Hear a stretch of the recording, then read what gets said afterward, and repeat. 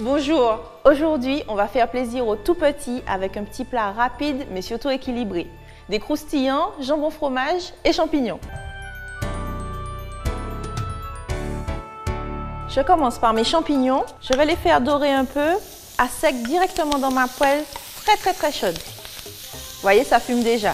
Pendant ce temps, je prépare la farce des croustilles. Mon jambon, je l'ai choisi blanc et maigre on va avoir les protéines nécessaires à nos bouts de chou. Je coupe en petits dés. Un petit coup d'œil sur les champignons. Bien doré, c'est bon. On arrête la cuisson. Et maintenant, dans le jambon, de grosses poignées de fromage.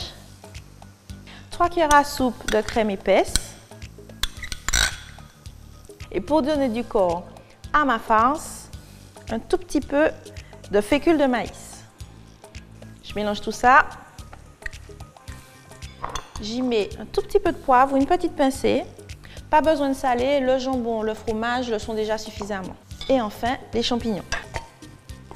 Pour donner encore plus de goût, j'ajoute un petit oignon jaune que je vais juste ciseler. Dernier coup de cuillère et on passe à la réalisation des croustillants. Voilà, j'ai une pâte du commerce, une pâte feuilletée, toute simple. Et avec mon emporte-pièce de fortune, je vais réaliser des carrés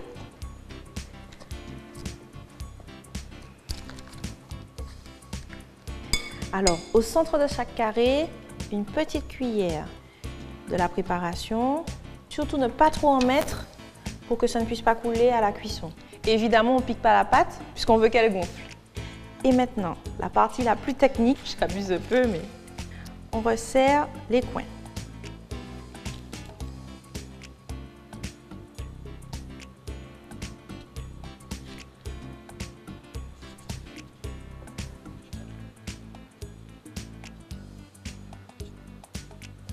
Et voilà. Et enfin, mon jaune d'œuf, légèrement battu. On va leur donner un peu de couleur. Plus attendre, je les mets au four une petite dizaine de minutes. Le four est préchauffé à 200 degrés.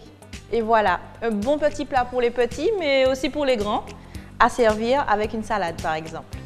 Allez, à demain